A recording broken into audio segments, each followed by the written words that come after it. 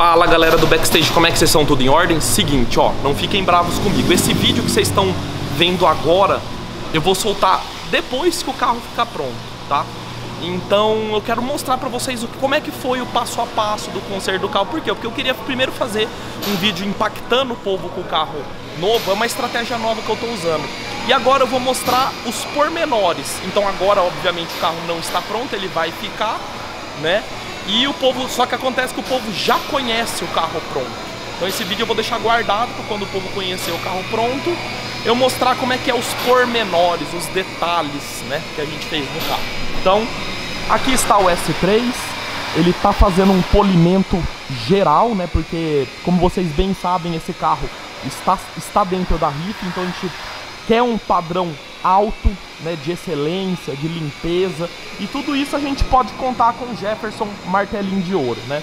Então aqui tá fazendo tudo isso, o carro já está com as rodas 19 no lugar, com pneus Hankook Ventus V12, né, que é um, um pneu que foi usado no meu Audi RS5, veio de fábrica no Audi RS5, então já tá aqui rodas e pneus, ele ainda não está pronto, né, vocês estão vendo que o retrovisor tá rebatido desse lado justamente para poder fazer um polimento melhor, né? Então aqui está o carro, plaquinha mini.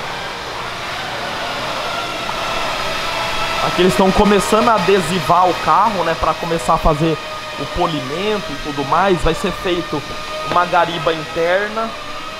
Nossa senhora. Que saudade desse carro, cara. Cheiroso. Pensa num carro que é cheiroso por dentro. O, o, o cheiro que esses bancos Napa têm são impressionantes. Esse aqui é um carro que, na minha opinião, dá até dó de rifar, tá? Dá até dó, mas tá aqui, ó. Então, o carro está aqui com o capô aberto, pronto para receber o para-choque. Claro, galera, como eu acabei atropelando uma carcaça de pneu de caminhão, teve umas peças aqui que foi difícil de achar, né, uns plásticos, por exemplo, esse plástico aqui, ó, quebrou na batida. Para achar isso aqui teve que importar, levou 60 dias para chegar.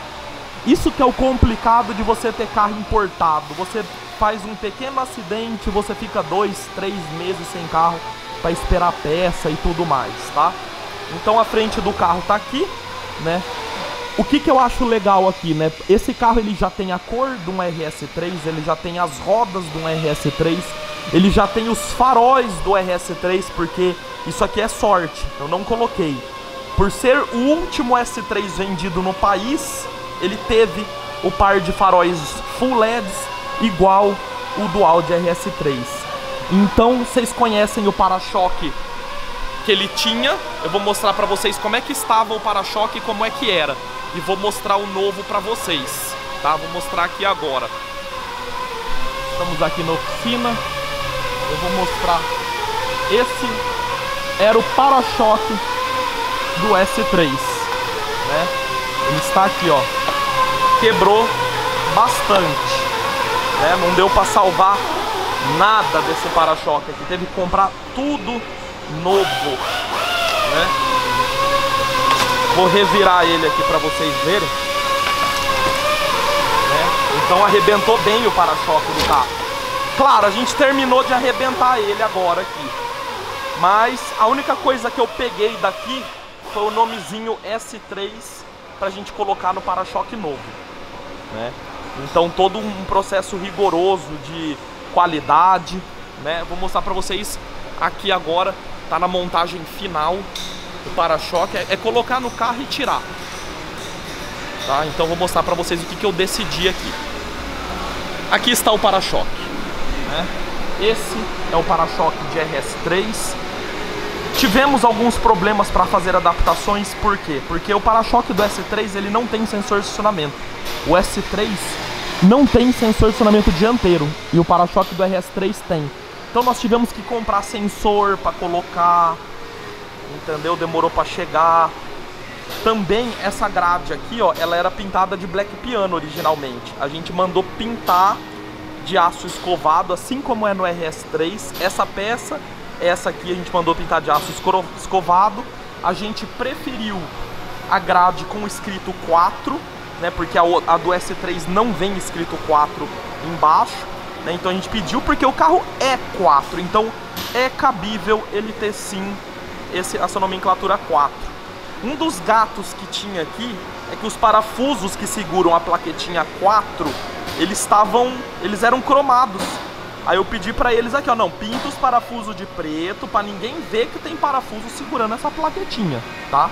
E agora, por último, a, a, a gente tirou agora ali o nomezinho S3 do para-choque original para colar aqui, certo?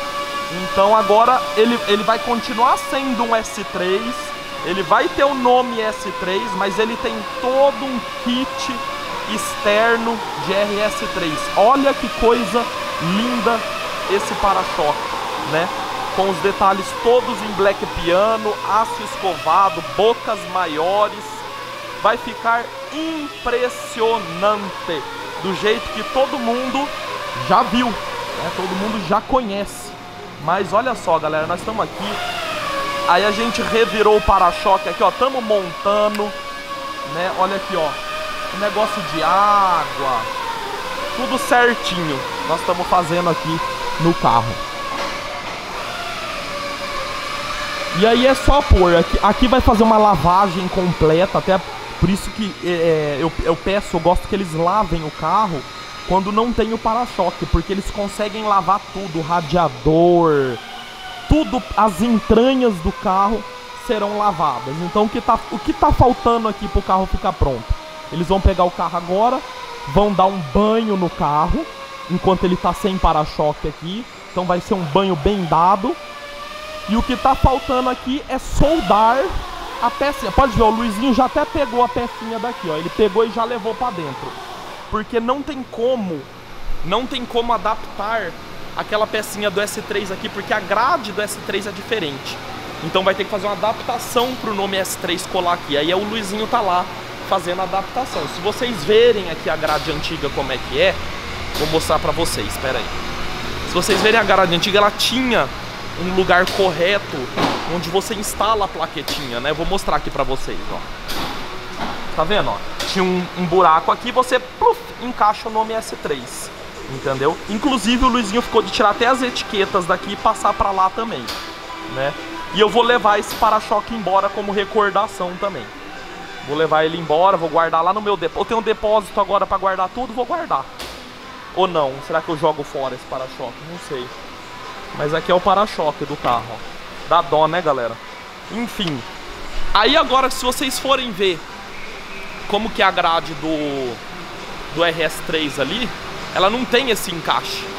Então vai ter que, vai ter que fazer uma adaptaçãozinha para colar ela aqui, tá? Pra, porque eu não quero descaracterizar o carro, fingir que é um RS3. Não, essa não é a proposta. Eu quero que o carro continue sendo um S3. Só que com um kit RS, podemos assim. Eu nunca vi um Audi com kit RS. Então a gente tá como se fosse um S3 com kit RS. Essa que é a intenção aqui. Esse carro também tava com suporte de placa. A gente mandou tirar para grade ficar colmeia 100%. E a gente vai comprar aquele suporte de placa Slim que o nosso amigo da Vag Garage, que foi quem vendeu este para-choque para nós, ele tem o suporte de placa Slim. Então você parafusa ele aqui fica só a plaquinha lá mesmo. Vai ficar bem legal com o suporte de placa Slim que a gente também vai pôr.